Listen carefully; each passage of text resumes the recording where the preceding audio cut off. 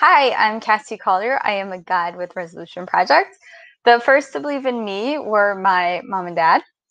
When I was seven years old, I told them I wanted to join the baseball team, and they said, Great, you know, the only league in town is a boys' league, but we'll sign you up on Monday. And I did. I joined the team, and I was the only girl. Uh, and what I loved about their approach is they never made it seem like there was anything weird or any big obstacles to overcome. It was okay, if you want to play baseball, let's put you on a baseball team. And I love that mindset. And it's one that I've tried to embody throughout my life.